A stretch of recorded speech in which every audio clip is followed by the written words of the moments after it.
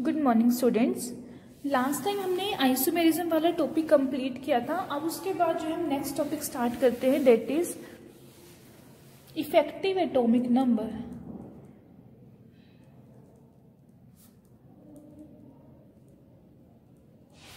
effective atomic number अब देखो, इसमें बेसिकली है क्या? स्टार्टिंग में हमने जब कोऑर्डिनेशन कंपाउंड स्टार्ट किया, हमने वर्नर्स थ्योरी पढ़ी है कोऑर्डिनेशन कंपाउंड्स की फॉर्मेशन के लिए। बट जो वर्नर्स की जो बेसिक एजम्पन्स थी, उसमें क्या है, कोई भी थियोरटिकल जस्टिफिकेशन नहीं गिवन थी।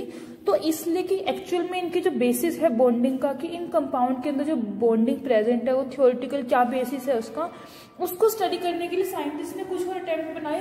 तो वर्नर्स की थ्योरी के बाद जो फ़र्स्ट अटेम्प्ट आया था, वो एक साइंटिस्ट थे सिडबिक जिन्होंने ये अटेम्प्ट दिया था कोऑर्डिनेशन कंपाउंड्स के बीच की बॉन्डिंग को क्लियर करने के लिए। ओके और इस थ्योरी को हम सिडविक थ्योरी ऑफ़ बॉन्डिंग भी बोलते हैं। इसी साइंटिस्ट के नेम पे इस थ्योरी का नेम है सिडविक थ्योरी ऑफ़ बॉन्डिंग और इन्होंने अपनी थ्योरी में एक रूल दिया था, जिस रूल को हम बोलते हैं इफ़ेक्टिव एटॉमिक नंबर रूल इसको शॉर्ट फॉर्म में हम ई ए एन रूल भी लिख देते हैं। इफ़ेक्टिव एटॉमिक नंबर की शॉर्ट फॉर्म है E A N effective atomic number rule जो है एक्चुअल में जो सिडविक थे, इन्होंने जो लुइस थ्योरी हम पढ़ते हैं इलेक्ट्रॉन पेयर बॉन्ड फॉर्मेशन की लुइस थ्योरी को ही एक्सप्लेन किया था, आगे एक्सटेंड कर दिया था कोऑर्डिनेशन कंपाउंड को क्लियर करने के लिए।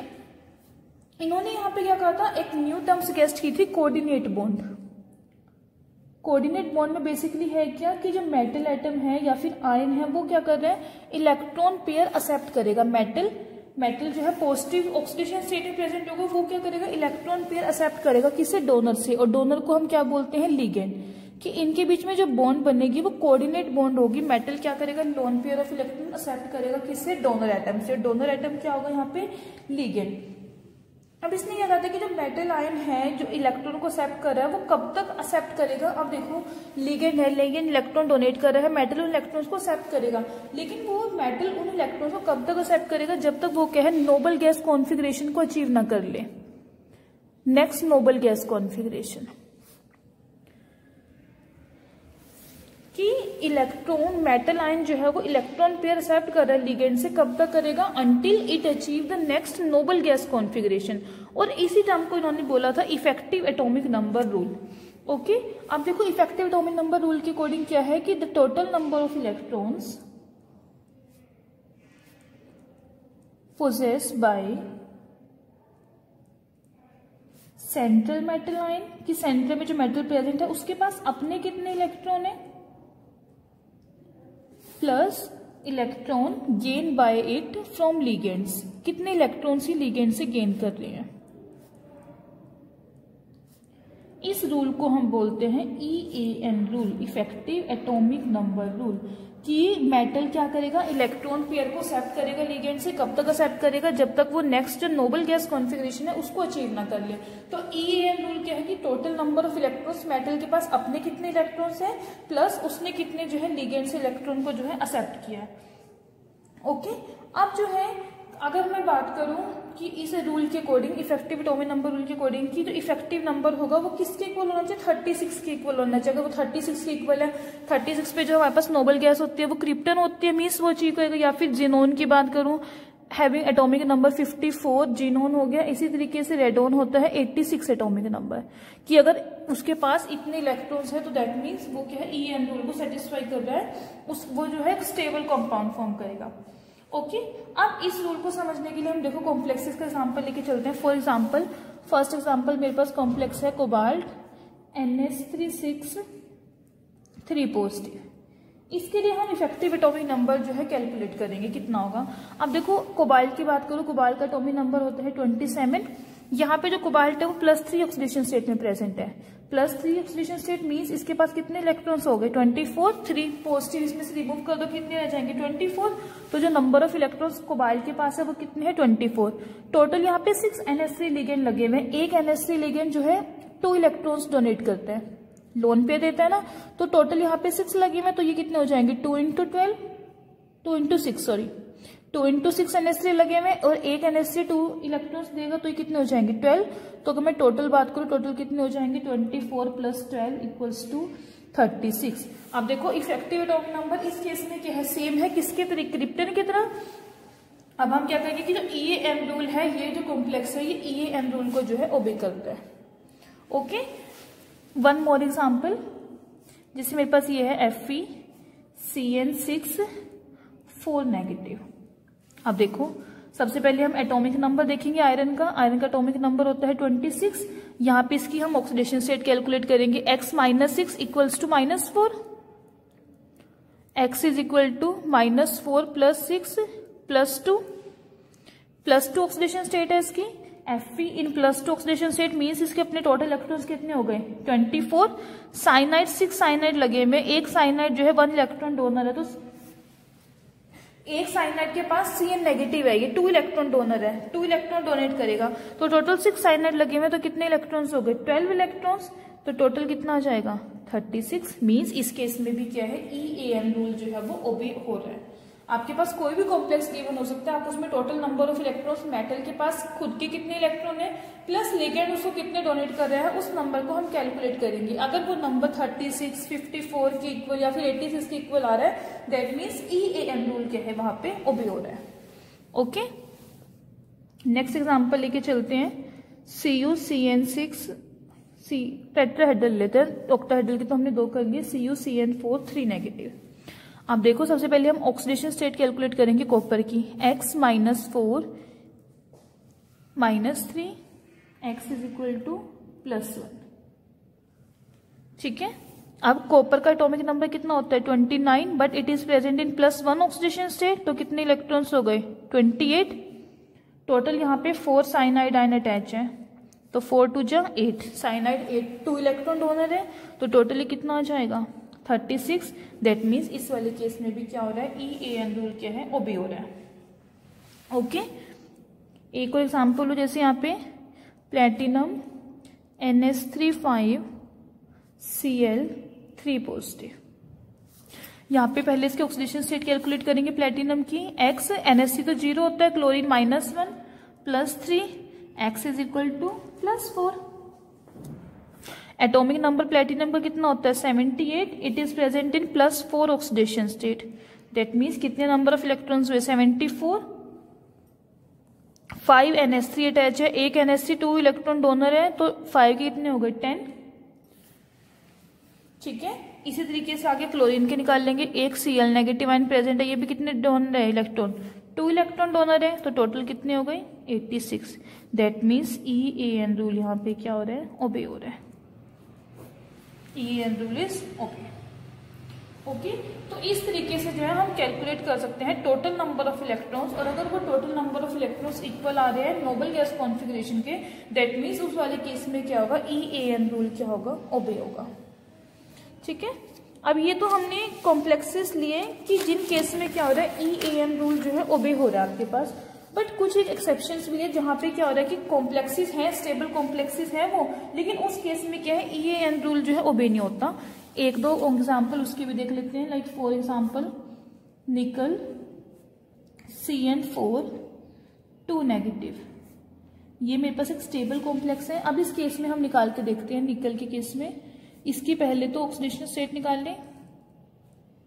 Plus two oxidation state nickel का एटॉमिक नंबर होता है twenty eight but nickel it is in plus two oxidation state तो कितने हो गए electrons twenty six total four cyanide present है फोर टू जा एट थर्टी फोर हमें ई एन के लिए कितने चाहिए? थर्टी सिक्स इलेक्ट्रॉन्स चाहिए ना? दैट मीन्स इस वाले केस में क्या है? इफ़ेक्टिव एटॉमिक नंबर रूल जो है ओबे नहीं हो सेकेंड जो कॉम्प्लेक्स ले रहे हैं chromium N S three six three positive अब देखो, यहाँ पे भी क्रोमियम की ऑक्सीडेशन स्टेट ये तो ज़ीरो है plus three oxidation state plus three oxidation state twenty four इसका टॉपिक नंबर होता है तो कितने इलेक्ट्रॉन्स हो गए? Twenty one six N S three है तो सिक्स टू जो ट्वेल्व टोटल आ गए थर्टी थ्री इलेक्ट्रॉन्स इस वाले केस में भी क्या है? इफ़ेक्टिव एटॉमिक नंबर रूल जो है वो ओबे नहीं हो रहा है बट ये जो कॉम्प्लेक्सेज है, ये भी क्या है? स्टेबल कॉम्प्लेक्सेज है। ठीक है? तो ये क्या है? एक दो एक्सेप्शन है कि जिस केस में क्या है? ई ए एन रूल जो है ओबे नहीं हो रहा है। अब आगे सिविक थ्योरी की लिमिटेशंस पढ़ेंगे। देखो, इस थ्योरी की अगर मैं बात करूँ, कि पहली तो लिमिटेशन यही होगी जो अभी अभी हमने देखी कि बहुत सारे कॉम्प्लेक्सेस हमारे पास ऐसे हैं जो स्टेबल होते हैं but they do not follow the effective atomic number rule means there are many complexes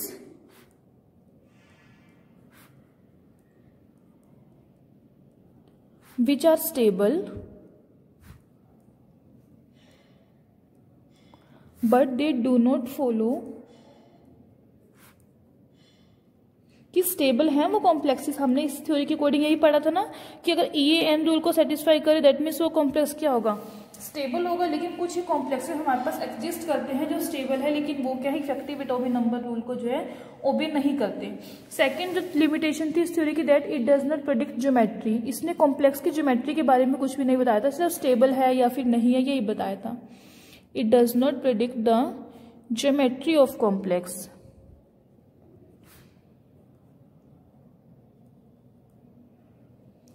third limitation की बात करूँ that this theory does not predict type of metal orbital की जो बॉन्डिंग हो रही है, उसमें मेटल के कौन से ऑर्बिटल जो है वो इन्वॉल्व है, उसके बारे में इसने कुछ भी नहीं बताया था। और it does not predict about the magnetic behaviour कि जो ये कॉम्प्लेक्सेस बन रहे हैं पैरामैग्नेटिक होंगे डाय डायमैग्नेटिक होंगे तो इसने जो है इन सब के बारे में कुछ भी नहीं बताया इसने सिर्फ़ एक ये बात बताई थी कि अगर ई एन रूल सेटिस्फाई हो रहा है दैट मीन्स कॉम्प्लेक्स स्टेबल है और नहीं हो रहा तो दैट मीन्स अनस्टेबल है बट हमारे पास ऐसे एक्चुअल में कंपाउंड एग्जिस्ट करते हैं कि जो स्टेबल हैं बट उस केस में क्या है ई ए एन रूल जो है वो ओबे नहीं हो रहा। ओके तो इसके बाद जो है, सबसे पहला देखो अटेम्प्ट हो गया वर्नर्स थ्योरी का। उसके बाद नेक्स्ट आ रही है वो है सिब्बिक थ्योरी इसके बाद जो है नेक्स्ट हमारे पास मॉडर्न थ्योरीज आई टोटल थ्री थ्योरीज जिसकी हेल्प से जो है हम कोऑर्डिनेशन कंपाउंड्स की बॉन्डिंग को एक्सप्लेन करेंगे। Modern theories of bonding coordination complexes के लिए specially First one is valence bond theory.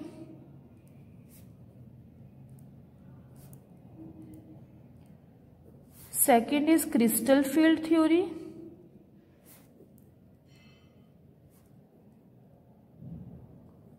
And third is molecular orbital theory.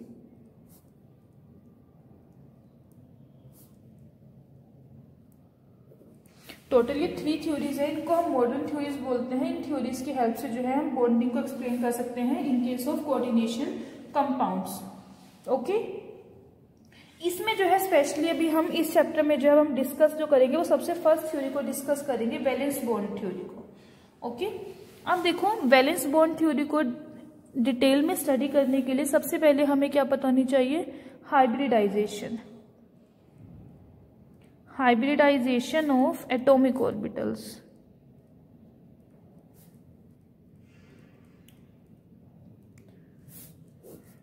Hybridization जो हम फ़र्स्ट ईयर में पढ़ते हैं। अब ये जो कंसेप्ट है, इसमें बेसिकली होता कि आपके पास? हाइब्रिडाइजेशन में एक बार गो थ्रू कर लेते हैं कि जो एटॉमिक ऑर्बिटल्स होते हैं, वो आपस में मिक्स होते हैं या फिर मैं कहूँ कि हाइब्रिडाइज होते हैं और हाइब्रिडाइज होने के बाद क्या है, वो same number of new orbitals बनाएँगे। उन न्यू ऑर्बिटल्स को हम बोलते हैं हाइब्रिड ऑर्बिटल्स ओके तो हाइब्रिडाइजेशन क्या हुआ? Phenomena of intermixing of atomic orbitals और जो वो एटॉमिक ऑर्बिटल्स आपस में मिक्स हो रहे हैं, वो क्या कुछ डिफरेंट एनर्जी के होते हैं मीन्स लाइट वेरिएशन होती है उनकी एनर्जी में। तो वो आपस में क्या करेंगे? अपनी एनर्जी को रीडिस्ट्रीब्यूट करेंगे। और जो हमारे पास न्यू सेट ऑफ़ ऑर्बिटल्स आएँगी, उनकी जो एनर्जी होगी, वो एनर्जी क्या होगी? इक्विवेलेंट होगी। इस प्रोसेस को हम बोलते हैं हाइब्रिडाइजेशन कि आपके पास जितने भी एटॉमिक ऑर्बिटल्स हैं, उनमें स्लाइट एनर्जी का डिफरेंस है। वो आपस में सारे के सारे क्या होंगे? मिक्स करे होंगे। मिक्स को हम हाइब्रिडाइज बोलते हैं। हाइब्रिडाइज होंगे और अपनी एनर्जी को जो है रीडिस्ट्रीब्यूट करेंगे और उसके बाद जो हमारे पास न्यू ऑर्बिटल्स आएँगे, वो सभी के सभी क्या होंगे? एक जैसी एनर्जी के होंगे। और इस फिनोमिना को हम बोलते हैं हाइब्रिडाइजेशन और कितने नंबर ऑफ़ हाइब्रिडाइज ऑर्बिटल हमारे पास फॉर्म होते हैं, जितने नंबर ऑफ़ ऑर्बिटल जो है ओवरलैप करें आपस में हाइब्रिडाइज हुए सपोज़ करें, एक एस का है और थ्री पी के हैं। टोटल आपके पास एटोमिक ऑर्बिटल वन एस हो गया और थ्री पी हो गए। तो total four atomic orbitals combine हो रहे तो हमारे पास जो फोर न्यू ऑर्बिटल्स बनेंगे, वो सारे के सारे भी क्या होंगे? फोर ही होंगे हाइब्रिडाइज ऑर्बिटल जितने number of atomic orbital combine होंगे, उतने ही नंबर ऑफ़ आपके पास हाइब्रिड ऑर्बिटल जो है फॉर्म होंगे। बस डिफरेंस क्या होगा? यहाँ पे इन दोनों की एनर्जी में डिफरेंट है। यहाँ पे जो फोर बनेंगे जैसे sp3 बन गया कंबाइन करके तो इन सभी की एनर्जी क्या होगी? सेम एनर्जी होगी। ओके okay, अब यहीं पे हाइब्रिडाइजेशन की बात करें सिंपल एटॉमिक ऑर्बिटल के लिए बात करें। अगर आपके पास जैसे कोऑर्डिनेशन नंबर की मैं बात करूँ कोऑर्डिनेशन नंबर टू है। मतलब कि दो एटॉमिक ऑर्बिटल्स कंबाइन हो रहे हैं तो हाइब्रिडाइजेशन कौन सी होगी? एसपी ये होगी इसकी हाइब्रिडाइजेशन अगर हेस्पी हाइब्रिडाइजेशन होती है, फिर उसकी शेप की बात करें शेप कैसी होती है? लीनियर शेप और ज्योमेट्री सेंटर में मेटल और ये साइड में इस तरीके से लीनियर ज्योमेट्री आ जाएगी। ठीक है? इसी तरीके से कोऑर्डिनेशन नंबर अगर आपके पास थ्री है तो S P two S P two total three होगी तो इसको हम बोलते हैं शेप को ट्राइगनल प्लेनर शेप सेंटर में मेटल प्रेजेंट होगा और ट्राइंगल उसमें टोटल थ्री लिगेंड्स अटैच होंगे।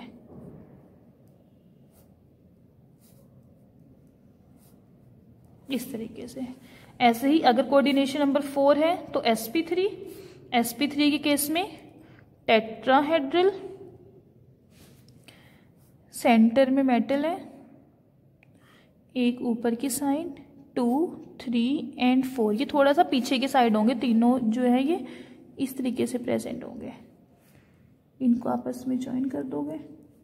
ये हो गई आपकी टेट्राहेड्रल शेप ओके ऐसे ही फोर केस में जो है कोऑर्डिनेशन नंबर फोर के केस में हमारे पास एक तो एसपी थ्री हो सकती है या फिर एक हाइब्रिडाइजेशन होती है डी एसपी टू इसमें ये जो डी ऑर्बिटल इन्वॉल्व होता है, ये इनर डी ऑर्बिटल इन्वॉल्व होता है और बेसिकली कौन सा होता है, ये D X square minus Y square orbital तो यहाँ पे हम इसको बोलेंगे स्क्वेयर प्लेनर अगर D S P two hybridization होती है स्क्वेयर प्लेनर फोर कॉर्नर्स पे टोटल फोर एटम्स प्रेजेंट होंगे।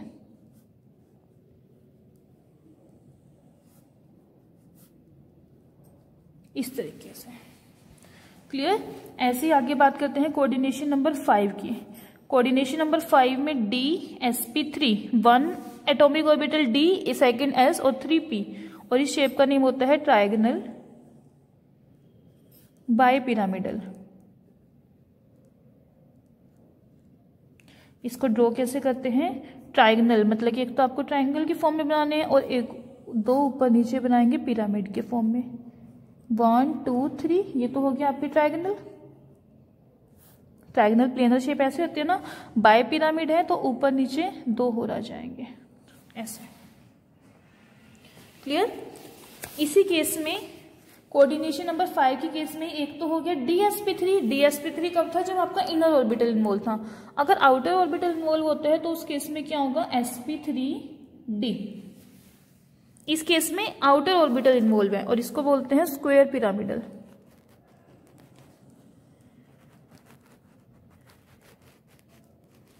स्क्वेयर पहले आपको एक स्क्वेयर बनाना है। Two, three and four.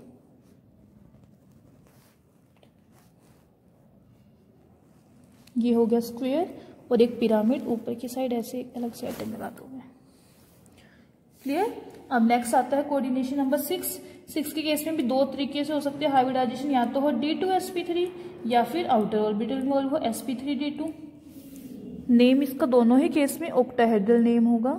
Shape का। बनाएँगे कैसे? सेंटर में मेटल ये हो गया स्क्वेयर ये हो गया आपकी ओक्टाहेड्रल शेप ओके तो वैलेंस बॉन्ड थ्योरी को हमें स्टडी करने से पहले पहले हाइब्रिडाइजेशन का कंसेप्ट पता होना चाहिए। हाइब्रिडाइजेशन हम फ़र्स्ट ईयर में पढ़ के आए हैं तो हम जो है आगे वैलेंस बॉन्ड थ्योरी को डिटेल में डिस्कस करेंगे। शॉर्ट फॉर्म में हम इसको वीबीटी भी बोलते हैं। वैलेंस बॉन्ड थ्योरी ठीक है? ये जो थ्योरी डेवलप की थी, वो साइंटिस्ट थे लाइनस पोलिंग इन्होंने ये थ्योरी दी थी। अगर मैं तीन थ्योरी की बात करूँ, हमारे पास बेसिकली थ्री तीन है modern theories valence bond theory CFT crystal field theory MOT molecular orbital theory उन तीनों में सबसे जो सिंपलेस्ट थ्योरी है वो यही है बैलेंस बॉन्ड थ्योरी इसको अप्लाई करना भी जो है काफ़ी ईजी है। और सबसे बड़ी बात कि ये इसमें जो है एक्यूरेट एक्सप्लेनेशन की हमारे पास स्ट्रक्चर कैसा होगा, ये भी इस थ्योरी ने क्लियरली एक्सप्लेन किया था। मैग्नेटिक प्रॉपर्टीज़ कैसी होगी कंपाउंड की, उस बारे में बताया था। और ये जो वैलेंस बॉन्ड थ्योरी है, ये बॉन्डिंग जो है कि मेटल और लिगेंड के बीच में जो बॉन्डिंग है, उसको एक्सप्लेन करिए with the help of hybrid orbital कि जो मेटल के पास और इलेक्ट्रॉन पेयर है मेटल के जो हाइब्रिड ऑर्बिटल है, और इलेक्ट्रॉन पेयर है लिगेंड के। अब इस थ्योरी के अकॉर्डिंग क्या है कि जो बॉन्डिंग होगी मेटल कॉम्प्लेक्सेस में, वो कब होगी कि एक फ़ील्ड लिगेंड ऑर्बिटल है। लिगेंड का जो ऑर्बिटल है, वो फ़ील्ड है मीन्स उसके पास पेयर ऑफ़ इलेक्ट्रॉन्स अवेलेबल है। वो क्या करेगा? मेटल के वैकेंट ऑर्बिटल के साथ वैकेंट भी कौन सा? हाइब्रिड ऑर्बिटल मेटल के हाइब्रिड ऑर्बिटल्स होंगे और लिगेंड के पास फ़ील्ड ऑर्बिटल्स होंगे। तो वो क्या करेगा? लिगेंड का ऑर्बिटल मेटल के वैकेंट ऑर्बिटल के साथ जो है ओवरलैप करेगा। और ओवरलैप होने से वहाँ पे जो बॉन्ड बनेगी, वो कौन सी बॉन्ड होगी? कोऑर्डिनेट बॉन्ड होगी। किस तरीके से? ये मेटल है आपके पास। मेटल का वैकेंट हाइब्रिड ऑर्बिटल। ये है मेटल का वैकेंट हाइब्रिड ऑर्बिटल। ठीक है? साथ में है लिगेंड का फ़ील्ड ऑर्बिटल। ये लिगेंड के इलेक्ट्रॉन है, इसमें ऑर्बिटल में प्रेजेंट। ये आपस में ओवरलैप करेंगे। मेटल एंड लिगेंड दोनों के ही ओवरलैप कर जाएँगे, इस तरीके से ऑर्बिटल। और ये बॉन्ड बन जाएगी metal to ligand, coordinate bond.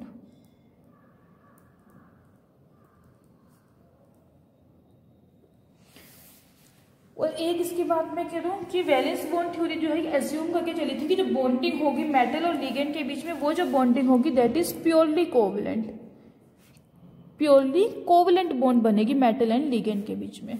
अब देखो, इस थ्योरी के बेसिक एजम्पन देखते हैं। किस किस एजम्पन के ऊपर ये थ्योरी बेस्ड थी? Assumptions ऑफ़ वीबीटी फ़र्स्ट जो एजम्पन था इसका वो ये कि जो सेंट्रल मेटल एटम है कॉम्प्लेक्स में, उसके पास जो है एम्प्टी ऑर्बिटल्स प्रेजेंट होने चाहिए कोऑर्डिनेशन बॉन्ड को फॉर्म करने के लिए। और साथ में सुटेबल लिगेंड भी होने चाहिए। और जितने number of empty orbitals available होंगे, वो किसके इक्वल हो जाएगा? Coordination number of the central metal ion means कि अगर आपके पास कोऑर्डिनेशन नंबर सिक्स है, इसका मतलब क्या हुआ कि सिक्स एम्प्टी ऑर्बिटल जो है वहाँ पे अवेलेबल है। और अगर कोऑर्डिनेशन नंबर फोर है तो उसका मतलब क्या हुआ कि फोर एम्प्टी ऑर्बिटल्स अवेलेबल है। तो जो फ़र्स्ट पॉइंट था वो इसका क्या? कि central metal atom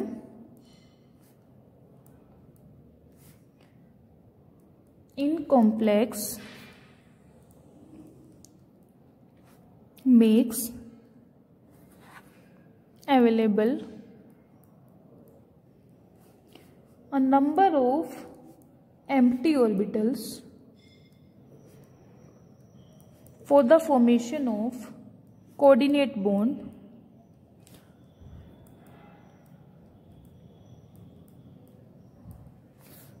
with suitable ligands with suitable ligand और जो नंबर ऑफ़ एम्प्टी ऑर्बिटल्स होंगे number of empty orbitals is equal to coordination number of central metal ion clear और सेकेंड ये बात ये करें कि एटॉमिक ऑर्बिटल जो है मेटल के पास अवेलेबल एटॉमिक ऑर्बिटल्स है एटॉमिक ऑर्बिटल वो एस भी हो सकते हैं पी भी है डी भी है, वो सारे के सारे आपस में क्या करेंगे? हाइब्रिडाइज करेंगे।